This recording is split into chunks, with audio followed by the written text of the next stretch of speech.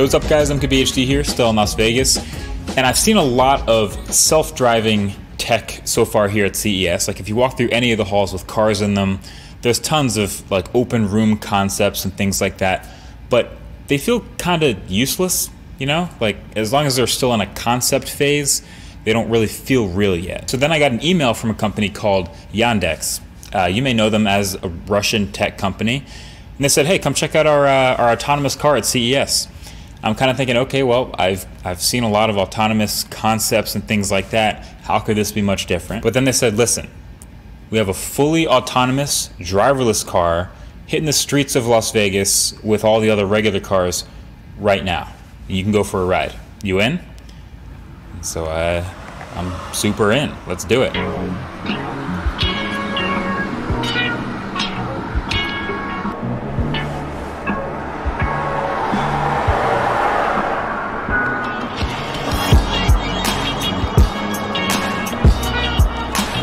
So the car itself is a retrofitted Prius. On top is radar, LiDAR, and camera array for the car to map out its surroundings. I think as someone who's used the autopilot from a Tesla, it helps me to not be as nervous in the back seat, but it's still crazy not having anyone in the driver's seat at all as the car navigates the streets. There's a safety engineer in the passenger seat which had a kill switch next to him for if anything happened to go wrong or it needed to be interrupted.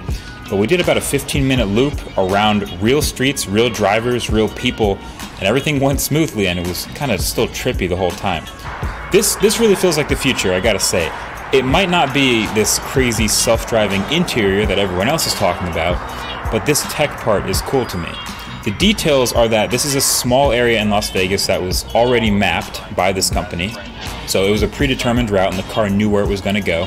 But everything else road conditions, the other cars, the pedestrians, the traffic lights, the turns, speed changes all of that was decisions made by the car. But all that makes sense for a taxi. I mean, you map the town or city you want to be in, you have predetermined routes for pickup and drop off, and then the taxis are driverless and they just go from there. And the even cooler, nerdier part is these iPad Pros you're seeing, that's a visualization of what the sensors on top of the car are seeing in real time. So the radar, LiDAR, and cameras are all combining to identify what is other cars on the road, what's pedestrians, what is a stationary object, and seeing things up to 250 meters away in every direction. So things six, seven cars away were on the iPad that I couldn't even see in real life out the windows. So there are some red paths, and when we start driving, you're going to see some green paths. And basically, what I'm seeing here is it's evaluating what's currently happening on the road and what's about to happen. Red paths, no good. Green paths, good.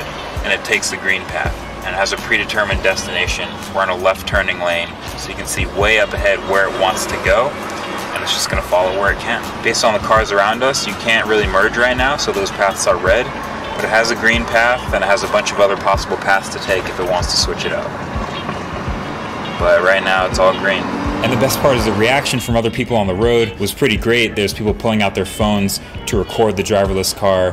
People kind of stare a little bit at stoplights when they realize what's going on. And apparently, Las Vegas cops think it's pretty funny too. But overall, the 15 minutes we spent in this car were a lot of fun. I learned a lot just looking at these iPads and what they were seeing as the car drove around. And this gave me a sort of an optimism for the future of self driving tech. So that's pretty much it. Figured I would share my experience. Uh, would you let yourself get driven in a driverless taxi like this, maybe share this video with other people you think would be interested.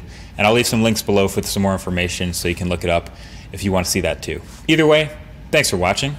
See you guys in the next one.